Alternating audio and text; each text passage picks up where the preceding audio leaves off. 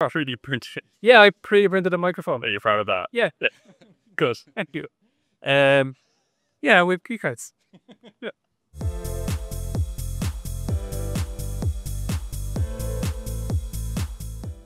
Uh, right. So I asked Fin a bunch of questions, and you should try and guess what Fin said for that. Okay, let's do it. So um, I asked Fin. Now Fin is an AI, so I asked Fin, "What's your favorite film?" What do you think Fin said? Ooh, that's a good question. Fin has a lot of a lot of context. So I'm going to say it's got the context of new film. So I'm going to say a new film, not an old school film. Um, my guess is going to be Oppenheimer. Okay.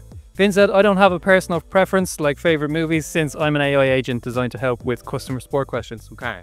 So then I asked Fin, uh, where does Fin live? What do you think Fin said? Fin lives wherever it needs to live. It's got multiple different channels, including WhatsApp, Slack, Discord is in alpha phase at the moment, and also in mobile and web applications. Close. Fin said, I don't have a physical location since I'm an AI agent designed to provide customer support.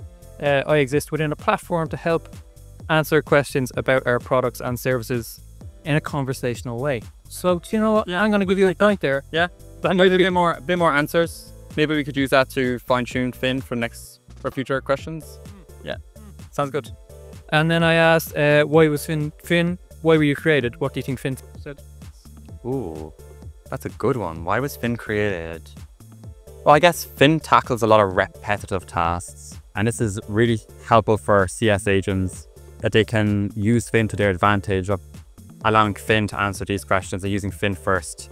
Um, so yeah, I feel like Fin's biggest advantage for as a customer service agent is for repetitive questions. Fin said, I was created to be the highest performing AI agent in customer service. It's a bit repetitive.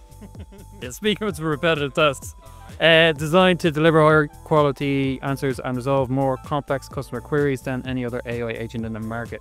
I'm not giving you a point for that. And finally, uh, Fin, are you the best AI agent? What do you think Fin said? Of course, it's got multiple different features, connections. It's ranked as the number one AI agent, so how couldn't it be the number one AI agent? Well, Fin wasn't too braggy. Fin said, I'm designed to be the highest performing AI agent in customer service, delivery, higher quality. But, uh, yeah. As of the G2 records, Fin is number one.